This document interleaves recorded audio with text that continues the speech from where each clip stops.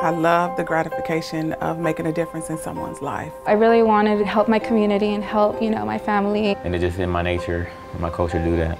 Once you go through a nursing program, you're never the same again. You're not only part of the community, you become a, a vital part of your own family. This place is off the charts in terms of resources and technology in nursing. Now, with our human patient simulators, you can simulate any kind of critical situation. We have designed the current two-year pre-licensure program to have the second year as on-the-job training. You're able to take that state-of-the-art education and actually bring it to the bedside. All my teachers, they're very experienced nurses. You can see it in their teaching. It's a very open environment. You could actually sit down with the faculty and they would address your question and they're always there. This is like a home to me. We know each other's strengths and weakness, so we sort of play off of that.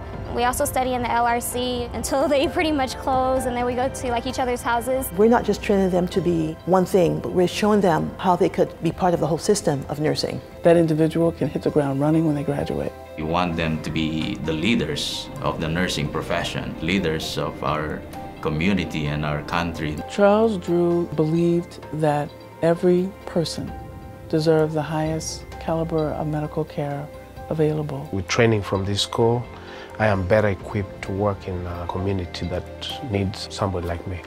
This is the most exciting time for nursing.